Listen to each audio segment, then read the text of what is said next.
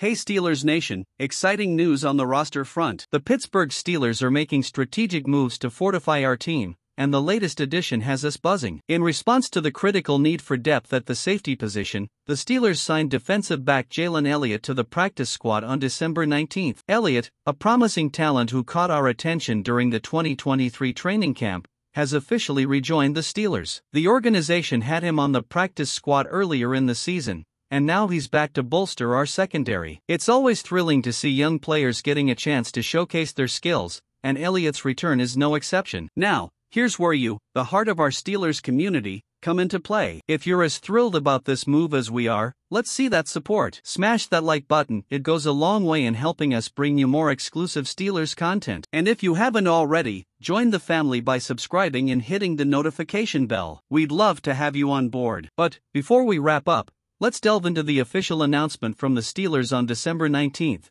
we have signed DB Jalen Elliott to the practice squad. It's a strategic move that underscores the team's commitment to fortifying every aspect of the roster, especially following the recent release of linebacker Tariq Carpenter. As we eagerly anticipate how Jalen Elliott will contribute, we want to hear from you. Do you think the Steelers made the right call? Leave your opinions and thoughts in the comments below. Here we go, Steelers.